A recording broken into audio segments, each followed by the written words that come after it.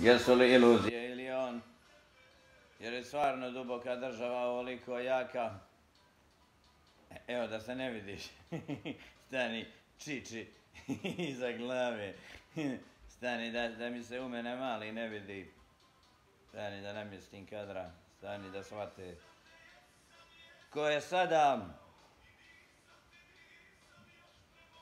prvak svijeta, neki me zovu crni papa, crni anđeo, crna ruka, zla misao, neko ko stoji iza svih ovih projekata, ko nam odvodi omladinu diljem svijeta, gdje je mladost Hrvatske, naše ponosne, ne možemo da vičemo ni slobodno živio poglavnik.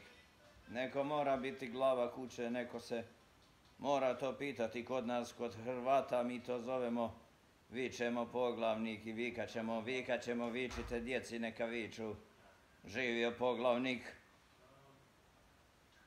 Primili smo tu tužnu vijest da je Francišković Marko još uvijek u pritvoru. Ne date mu ni progovoriti čega se bojite smradovi demokratski.